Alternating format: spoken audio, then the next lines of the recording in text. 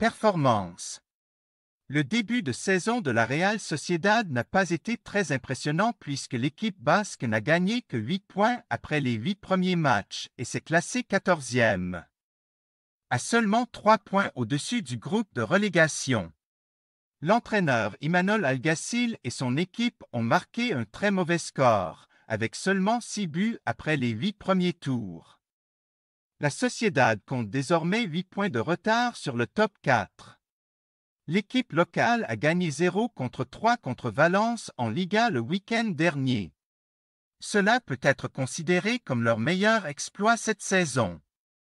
Mais ils ont ensuite subi une défaite 1 à 2 à domicile contre Anderlecht en Ligue Europa.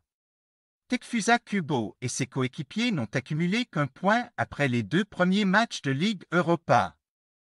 Quant à l'Atlético Madrid, après avoir remporté un match nul dans le temps additionnel contre le Real Madrid, il a lamentablement perdu face à Benfica 0 à 4 en Ligue des Champions.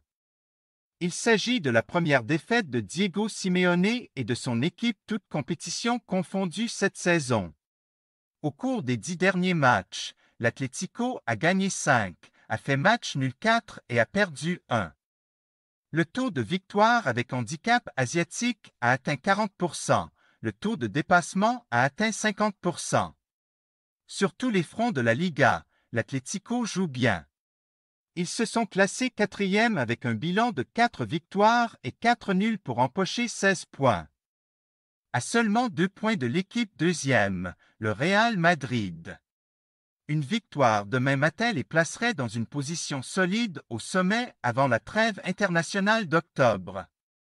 La Sociedad a perdu ses trois derniers matchs de Liga avec l'Atlético, alors qu'elle n'a pas encore battu l'équipe rouge et blanche de la meilleure ligue espagnole depuis septembre 2019. L'Atlético a gagné 0 contre 2 à l'extérieur de la Sociedad à la fin de la saison dernière. De plus, depuis avril 2018, le représentant de la capitale n'a perdu contre la Sociedad qu'une seule fois en Liga. Real Sociedad. Igor Zubeldia, Amari Traoré et Arsène Zakarian ne peuvent pas jouer en raison de blessures. Atlético Madrid. Robin le Normand, César Aspilicueta et Pablo Barrios ne pourront pas jouer tandis que Marcos Llorente sera absent en raison d'un carton rouge reçu lors du derby madrilène. L'Atlético sera blessé en perdant quatre buts contre Benfica, et Simeone a certainement demandé à ses joueurs de se lever ce matin. Ces cinq dernières années, le représentant de la capitale n'a pas connu de défaite face à la Sociedad en Liga. C'est le facteur qui permet à l'Atlético de gagner trois points. Prédiction de score selon Sportsmall. Sociedad 1 à 2 Atlético.